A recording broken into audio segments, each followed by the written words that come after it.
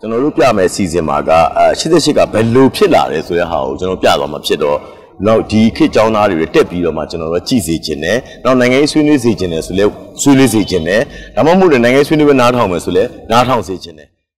ရှစ်လေးလုံးဒီမိုကရေစီရေးတော်ပုံနှစ်30ပြည့်ခမ်းနားကျင်းပဖို့88မျိုးဆက်ကျောင်းသားခေါင်းဆောင်တွေကပြင်ဆင်နေကြပါပြီ။ရှစ်လေးလုံးပလဲရတူခမ်းနားကျင်းပရေးနဲ့ပတ်သက်ပြီး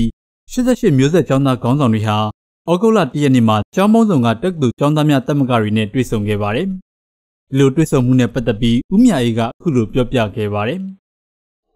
ဒီနေ့ကဆွေးနွေးပွဲနှစ်ပိုင်းပေါ့နော်ပထမတစ်ပိုင်းကတော့တမကရည်နဲ့တွေ့မယ်အပိုင်းဒုတိယပိုင်းကတော့ကျွန်တော်တို့ကော်မတီတွေအကုန်လုံးဆိုတာအခုပုံစံကတော့အကုန်လုံးပေါင်းလုပ်သွားမယ်သဘောရှိရဲနောက်တစ်ခါဒီတမကတွေကိုအဓိကဖိတ်ခေါ်တာက6ရက်9ရက်မှာကျွန်တော်တို့ကပြပွဲတွေရှိမယ်ဆွေးနွေးပွဲတွေရှိမယ်ဆိုတော့နောက်မျိုးဆက်တွေအနေနဲ့ ကျွန်တော်တို့ပြမယ်စီစဉ်မှာကအဲ88ကဘယ်လိုဖြစ်လာလဲဆိုတဲ့ဟာကိုကျွန်တော်ပြသွားမှာဖြစ်တော့နောက်ဒီခေတ်ကျောင်းသားတွေတက်ပြီးတော့မှကျွန်တော်တို့ကြည်စေခြင်းနဲ့နောက်နိုင်ငံရေးဆွေးနွေးစေခြင်းနဲ့ဆိုလဲဆွေးနွေးစေခြင်းနဲ့ဒါမှမဟုတ်လည်းနိုင်ငံရေးဆွေးနွေးပဲနားထောင်မယ်ဆိုလဲနားထောင်စေခြင်းနဲ့အဲ့ဒီလိုပါကျွန်တော်တို့ကဘယ်ဟာလုပ်ဘယ်ဟာလုပ်ဘယ်ဟာလုပ်ဆိုတာကျွန်တော်တို့က guide ပြီးပိုင်ခွင့်မရှိဘူးပေးဖို့လည်းမသင့်ဘူးအဲ့တော့ဒီခေတ်ဒီအခြေအနေနဲ့ဒါတွေကိုမြင်ပြီးသူတို့ဖာသူတို့ဆုံးဖြတ်သွားတဲ့အခြေအနေမျိုးကိုကျွန်တော်တို့ကလိုချင်တာပါဒါပါပဲဗျဟုတ်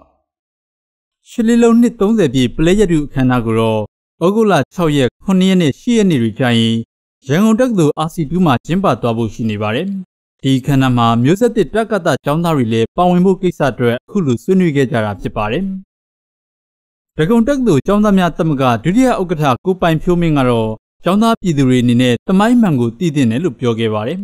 ။အမြဲတမ်းအမှတ်တရနဲ့ဒီနေ့ဒီရက်ရောက်တိုင်းကျွန်တော်ကျောင်းသားအနေနဲ့ကျောင်းသားတွေပြည်သူလူထုတွေအနေနဲ့ဒီဘက်မှာအမြဲတမ်းဟိုဒါ အရင်ကဖြစ်ခဲ့ပါလားဆိုတဲ့ပုံစံမျိုးဖြစ်အောင်